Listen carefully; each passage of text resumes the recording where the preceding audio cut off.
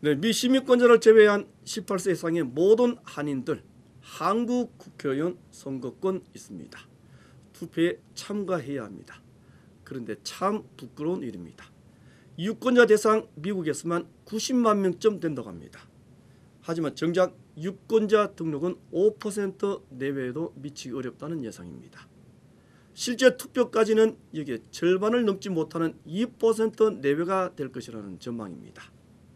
해외 한인들도 대한민국 국민이다. 참정권 달라고 요구했던 그 목소리가 너무 초라해지고 있습니다. 인터넷으로 하는 유권자 등록 단 2분이 넘지 않습니다. 유권자 등록해야 투표할 수 있고 투표해야 요구할 수가 있을 겁니다.